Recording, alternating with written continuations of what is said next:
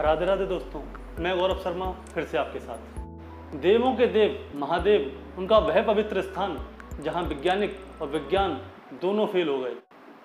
कैलाश पर्वत, जो निवास स्थान है देवों के देव, महादेव का, जहाँ पर आज तक कोई भी व्यक्ति नहीं पहुँच सका।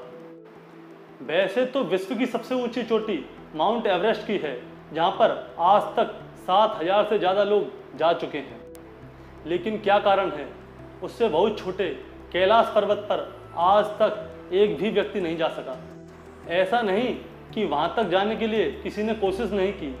कैलाश पर्वत पर जाने के लिए बहुत लोगों ने बहुत कोशिश की, लेकिन सब फेल हो गए। लेकिन कैलाश पर्वत पर चढ़ते हुए लोगों के साथ कुछ ऐसी घटनाएँ हुई जिससे लोगों के होश उड़ गए। कैलाश पर्वत पर चढ़ने वाले लोगों का कहना है कि वहाँ पर्वत की चढ़ाई करने के बाद लोगों का समय बहुत जल्दी से बढ़ता है और उनके बाल और हाथ के नखुन बहुत स्पीड से बढ़ते हैं। और इसके बाद वहाँ पर हमारा कोई भी यंत्र काम नहीं करता और दिशा भ्रमित भी होती है। और अगर हम ज़्यादा कोशिश करते हैं तो कोई हमें आवाज़ दिलाता है कि मृत्यु बहुत ही निकट है, जिस कारण लोग वापस आ जाते हैं। बहुत से वैज्ञानिक और नासा ने अपनी खोज से यह निष्कर्ष निकाला कि यह वह स्थान है, यहाँ विज्ञान फेल है और उन लोगों ने इसे धरती का केंद्र माना।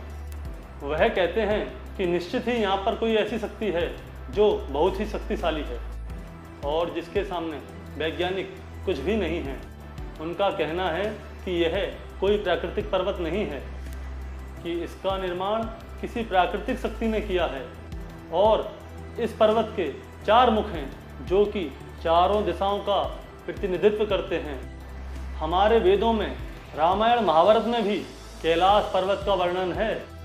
हम आज भी मानसरोवर यात्रा करते हैं तो देखते हैं कि कैलाश पर्वत पर दो झीलें बह रही हैं। एक ब्रह्म द्वार जो कि सूर्य के आकार की एक पवित्र झील है, जिसे कि हम मानसरोवर कहते हैं।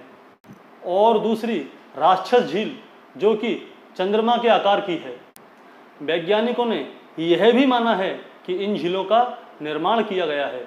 जब हम मानसरोवर से दक्षिण दिशा में देखते हैं तो वहाँ पे हमें स्वास्तिक का निशान दिखाई देता है, जिसमें कि वैज्ञानिक आज तक उसका पता नहीं लगा पाए कि वह स्वास्तिक कैसे बना। और वैज्ञानिक आज तक यह भी पता नहीं लगा पाए कि जब मानसरोवर में बर्फ़ पिघलती है तो डमरू और ओम की ध्वनि कहाँ से उत्पन्न होती है। जिससे कि हम साफ़ सुन सकते हैं। तो बोलिए, राधे राधे, अगर आपको हमारी यह जानकारी अच्छी लगी हो तो आप इस जानकारी को आगे भी शेयर करें। और हमारा चैनल सब्सक्राइब करना बिल्कुल ना भूलें। बोलिए, राधे राधे।